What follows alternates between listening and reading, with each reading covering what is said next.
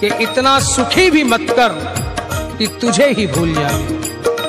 इतना सुखी भी मत कर कि तुझे ही भूल जाए और इतना दुखी भी मत कर